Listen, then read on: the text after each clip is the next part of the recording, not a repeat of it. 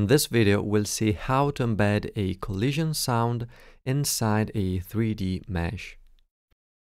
Once you have your object in the scene, you can click over Blueprint Add Script, give it a name, and choose a folder where to save it. And I think I'm gonna save it inside my audio file. And click Select. Meshes by default do not have a collision mesh, so we need to create one. Select your static mesh, click on Add Component and search for collision. And here you have a bunch of choices. I'm gonna use the second one. Once you have adjusted the collision mesh size so that it covers the entire uh, volume of your object, you can scroll down uh, in the detail panel and search for on component being overlap and click on this plus icon. It will create a on component being overlap inside its event graph. From here we can uh, drag out and create a spawn sound attached.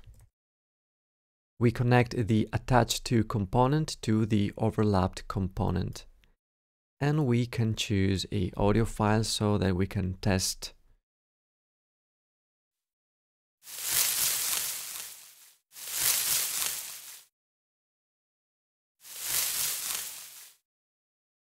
As you have probably heard, there were multiple instances of the audio file being played at a very short delayed time. So to avoid that, we can use a do once node it will trigger the sound just once.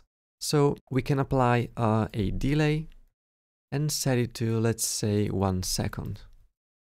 We take its completed output and send it to the reset so that we have to wait at least one second to trigger the sound once again.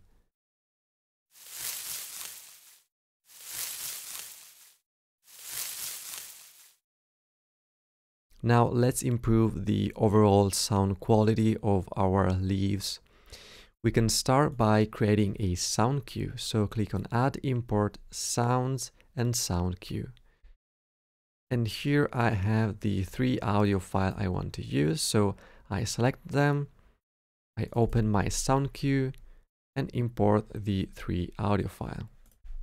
Connect each of them to a random module and finally to a modulator so that we can ap apply a few changes in pitch and volume.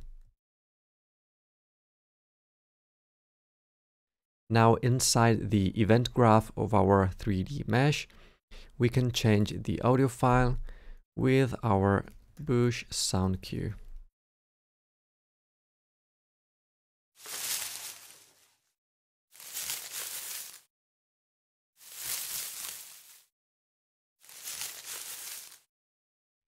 As you have probably heard, we can still hear the sound of rustling when we are outside the collision capsule. To fix this, we need to create a on component end overlap.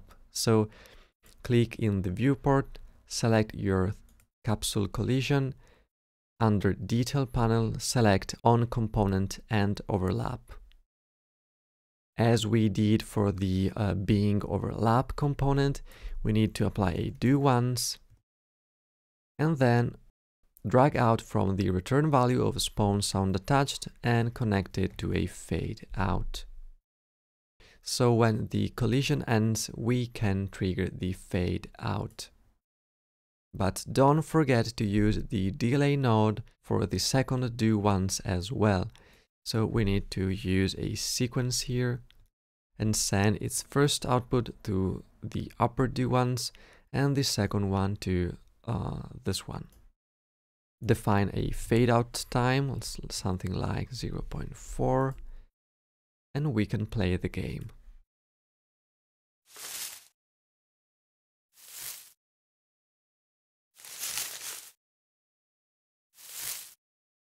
I think we can uh, use a longer fade out duration, so let's use 0.6.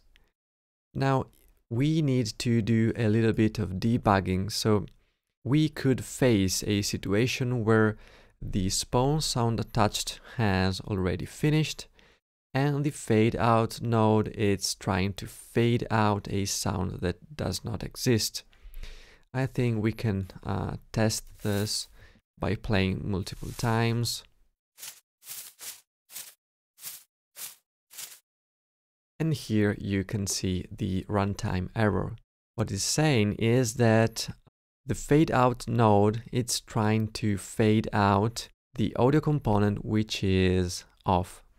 So to fix that, we need to connect the do once to a is valid module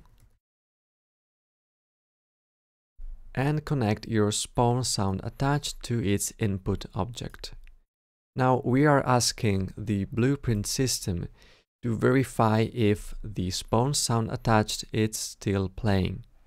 If so, the condition is valid and we can fade out uh, the sound, of course, if we exit the capsule collision.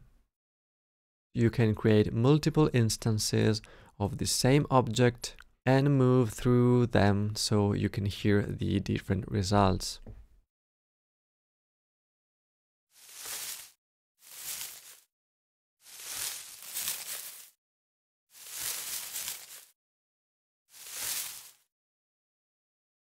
In order to get the audio file accessible even from the detail panel, we need to create a sound variable and make it public.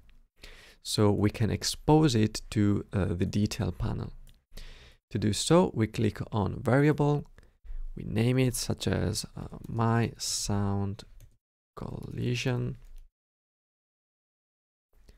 in its detail panel, you can set the variable type to sound base, object reference, and click on compile.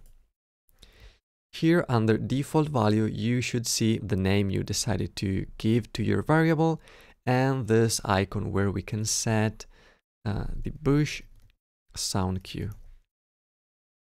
Now we just need to take our uh, variable, drop it in the blueprint editor and get my variable and connect it to the sound input of our spawn sound attached. And finally, select your variable and click on this little icon so that you can see the open eye. Now compile and save. And now by selecting your uh, 3D mesh in the viewport, you should see in the detail panel its uh, corresponding sound.